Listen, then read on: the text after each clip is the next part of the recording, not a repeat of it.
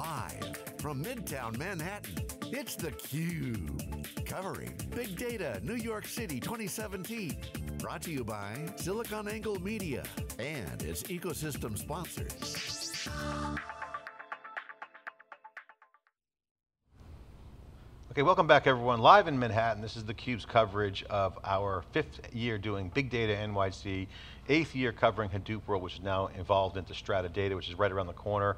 We're doing that in conjunction with that event. This is again where we have the thought leaders, we have the experts, we have the entrepreneurs and CEOs come in, of course, the who's who in tech, and my next two guests is Jagane Sundar, CUBE alum that I was on yesterday, CTO of WANdisco, you know, one of the hottest companies, most valuable companies in the space for their unique IP and not a lot of people know what they're doing, so congratulations on that. But you're here with one of your partners, a company I've heard of called Microsoft, uh, also doing extremely well with Azure Cloud. We got uh, Pranav Rastogi, who's the program manager at Microsoft Cloud Azure.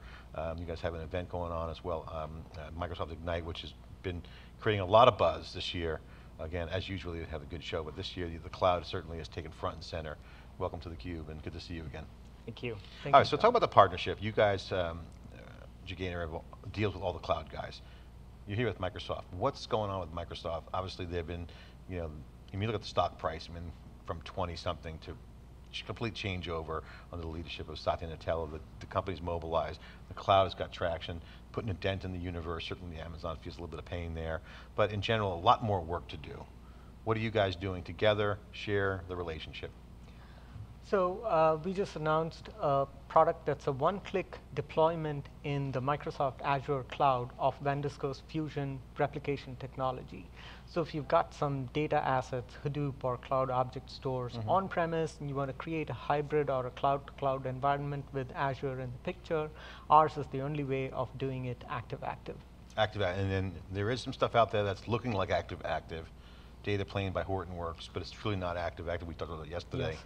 Um, Microsoft, you guys, what's the interesting about these guys besides the active active? So it's a unique thing, it's an ingredient for you guys. Yeah, so the interesting thing for us is uh, the biggest problem that we think customers have for a big data perspective is uh, if you look at the landscape of the ecosystem in terms of open source mm -hmm. projects that are available, it's very hard to A, figure out how do I you know, use this software, B, how do I install it.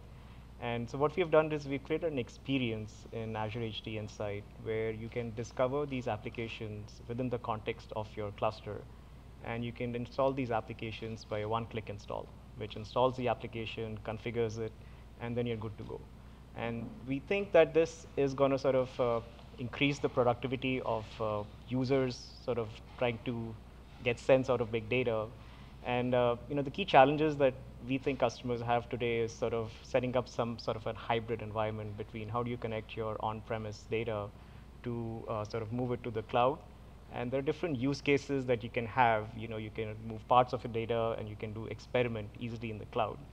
Uh, and so what we've done is, you know, we've enabled uh, WANdisco as an application on, an, on our HD Insight uh, application platform where customers can sort of install it using a single click deploy, mm -hmm. connect it with the data that's sitting on-prem, use the active-active uh, feature to sort of have both these environments running uh, simultaneously and they're in sync. So the one benefit's the one-click thing, that's on your side, right? You guys right. are enabling that.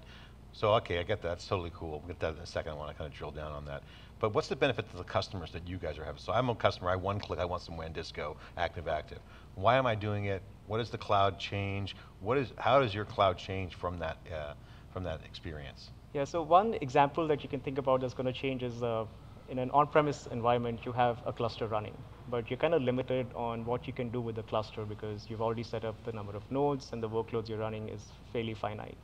Uh, but you know, what's happening in, in, in, sort of reality in today is uh, lots of users, especially in the machine learning space and AI space and in the analytics space, are using a lot of open source libraries and technologies. And they're using it on top of like Hadoop, they're using it on top of Spark. However, like experimenting with these technologies is hard on on-prem because it's a locked environment. So we believe like with the cloud, like especially with, a, with an offering like WANdisco on HD Insight, once you move the data, you can start spinning up clusters, you can start installing more open source libraries, mm -hmm. experiment, and you can shut down the clusters when you're down. So it's going to sort of increase your efficiency, it's going to allow you to experiment faster, and it's going to reduce your cost as well because you don't have to have the cluster running all the time. And once you are done with your experimentation, uh, then you can decide like which way do you want to go. So it's going to remove Again, the what's your experience with Azure? I mean, a lot of people have been, some people have been critical. I mean, rightfully so. You guys are moving as fast as you can. You can only go as fast as you can, but the success of the cloud has been phenomenal. You guys have done a great job with, with, with the cloud. I've got to give you props on that. Your customers are benefiting, or Microsoft's customers are benefiting. What's the, how does it, how's the relation? You getting more customers through these guys? Are you Yes. bringing customers from on-prem to cloud? What's, the, how's, how's the customer uh, So- flow going? So um, almost all of our customers who have on-prem instances of Hadoop are considering cloud in one form or, the- or the other. Mm-hmm. Uh, different clouds have different strengths, as they've found. And Uh, different th- technology. Indeed. Yeah. And, and uh, Azure's strengths appear to be the H- HD Insight piece Mm-hmm. of it. And as Pranav just mentioned, uh, the cool thing is you can replicate into the cloud, start up a 15 node Spark cluster today to run a query that may return results to you really fast. Mm-hmm. Now remember, this is data that you can write to both in the cloud and on premise. It's kept consistent by our technology. Or tomorrow you may find that somebody tells you Hive with the new Tez enhancements is faster. Sure, spin up a 100 node Hive cluster in the cloud. HD Insight support that, supports that really well. You're getting consistent data and your queries will respond much faster than your on-premise. We've had Oliver uh, Chu on before with Hortonworks, obviously they're partnering there. HD Insights has been getting a lot of traction lately. Where's that going? I mean, we've had some, we've seen some good buzz on that, good people talking about it. What's the latest update on your end? Uh, HD Insights is doing really good. Uh, the customers love the ease of uh, sort of creating a cluster using a, just a few clicks. And the benefits that customers get, you know, clusters are optimized for certain scenarios. So if you're doing uh, data science, you know, you can create a Spark cluster, install open source libraries. Uh, we have Microsoft R Server sort of running on uh, Spark, uh, which is a unique offering to Microsoft, which lots of customers have uh, sort of appreciated.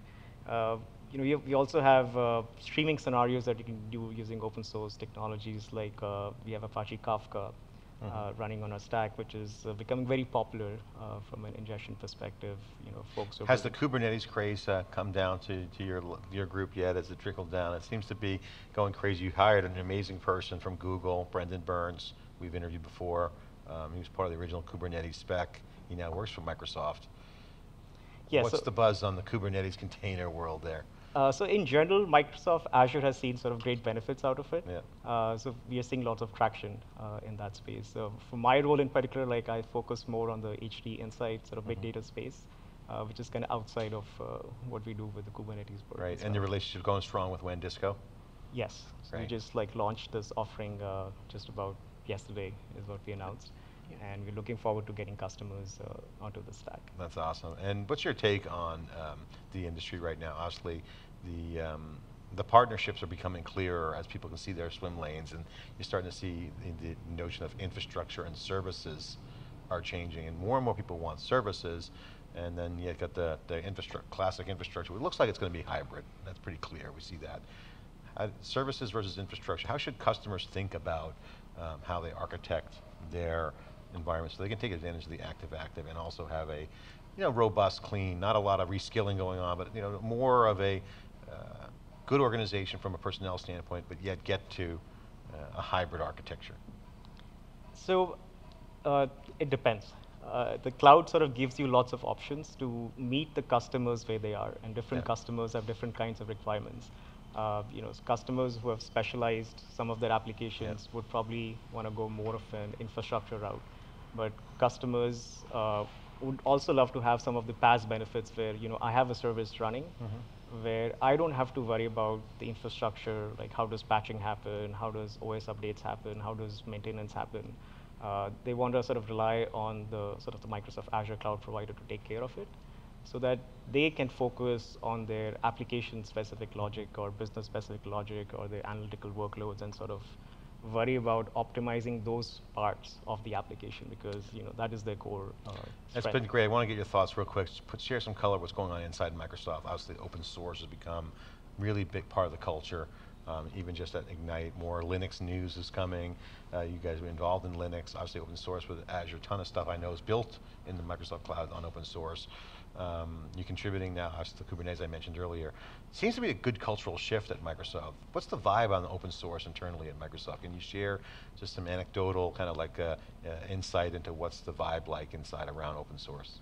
So the vibe has increased quite a lot around uh, open source. Uh, you know, you rightly mentioned, right, just recently we announced SQL Server on Linux as well uh, at the Ignite conference.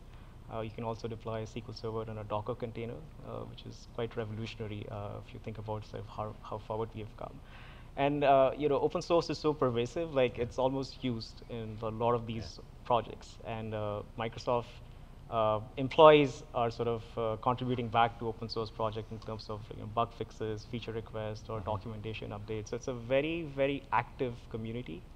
And by and large, I, I think customers are sort of benefiting all up because there's so many folks working together on like open source projects and sort of making them successful. Uh, and especially around the Azure stack, you know, we also ensure that you can run these open source workloads reliably in the cloud. Yeah. So from an enterprise perspective, you get the best of both worlds. You get the latest innovations happening in open source, plus the reliability of the managed platform that Azure provides at an enterprise scale. So again, obviously Microsoft partnership is huge, You've got other, other clouds as well.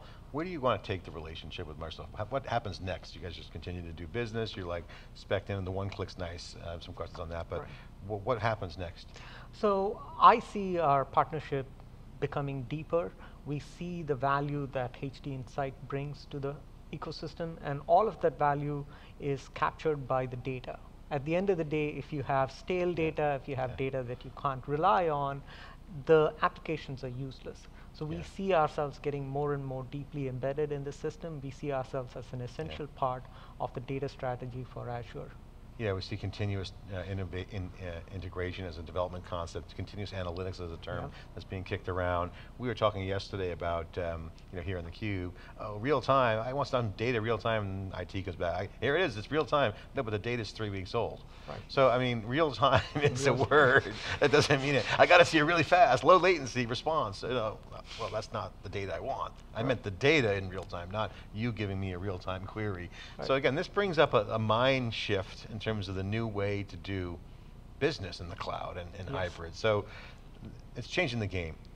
As customers scratch their heads and try to figure out how to make their organizations more DevOps oriented, what do you guys see for advice for those managers who really are getting behind it, really want to make change, who kind of have to herd the cats a little bit and kind of maybe break out security and put it in its own group, or you, you come in and say, okay, IT guys, we're going to change into our operating model, even on-prem, We'll use some bursting to the cloud. Azure's got 365 on there. A lot of coolness developing. What's the advice for the mindset of the change agents out there that are going to do the transformation? So my advice would be, if you've done the same thing by hand over two times, it's time you automated it. But two times, two no times. three rule, three no, strikes you're no, out. I'm saying two You're times. saying two, contrarian. no, that's that's that's a a uh, careful statement because yeah. if you try automating something that you've never actually done by hand, that's a disaster as well. A couple yeah. times so you know how it's Get supposed to work. Get a good groove on it, yeah. Right. Then you optimize, you automate, and then you turn the knobs. So you try, you know, 100 node cluster, maybe that's going to be faster. Maybe after a certain point you don't get any improvements, so you know how to turn So take some baby steps, and one easy way to do is, you know, automate something that you've done. Yes, exactly. That's uh, almost risk-free. Yes relatively speaking. Uh, thoughts on advice to change agents out there? Um, this is your, your industry hat on, you can take your Microsoft hat off. Baby steps. Uh, so you start small, you get familiar with the environment and you know, tool sets are provided so that you get a consistent experience on what you were sort of doing on-prem and in sort of a hybrid space. Mm -hmm. And the whole idea is like, as you get more comfortable, the benefits of the cloud will sort of far outweigh uh, any sort of cultural changes that need to happen. To Guys, thanks for coming on theCUBE, really appreciate it. Uh, thoughts on, on, on the Big Data NYC this week, what do you think? I think it's a conference that has a lot of cloud hanging over it, and people are scratching their heads, including you know vendors, customers. Everybody's scratching their head, but there is a lot of cloud in this conference, although this is not a cloud conference. Yeah, they're trying to make it an AI conference. A lot of AI washing, certainly. We're Indeed. seeing that everywhere. But again, nothing wrong with hyping up AI. It's good for society. It really is cool. Um, but still, that's talking about baby steps. AI is like, I mean, still not there. It seems like AI from when I went to, got my CS degree in the 80s, not a lot of innovation. Although machine learning is getting better, but a lot more way to go on AI, don't you think?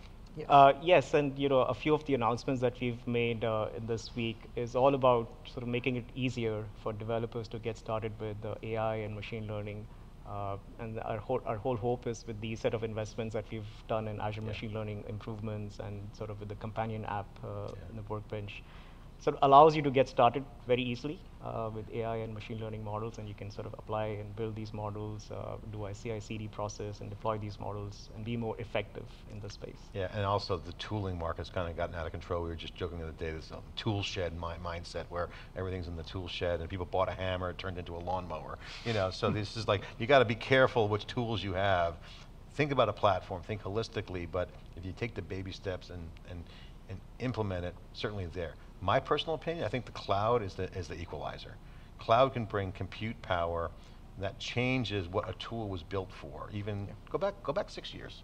The tools that were out there even six years ago are completely changed by the impact of, of, of unlimited, potentially unlimited capacity horsepower. So, okay, it resets a little bit. You agree? I do. I totally okay. agree. I think who right. wins, who loses on the reset? You know, the cloud is an equalizer, but there is a mindset shift that goes with that. Those who can adapt to Yeah. the mindset shift will win. Those who Yeah. cannot and are still uh, clinging to their old practices Yeah. will have a hard Yeah, time. it's exciting. If you're still reinventing Hadoop from 2011, then probably not in good shape right Not now. a good place to be. Um, using Hadoop is great for batch, but can't make that be a lawnmower. That's my opinion. Okay, guys, thanks for coming on. Appreciate it. You're smiling. You got something that you agree on? No, no. no. Thank you so much for that comment. Yeah. Thank you. Tool sheds are out there. Be careful. Guys, do your job. Congratulations on your, on your partnership. Appreciate it. Thank you. this is theCUBE, live in New York. More after this short break. We'll be right back.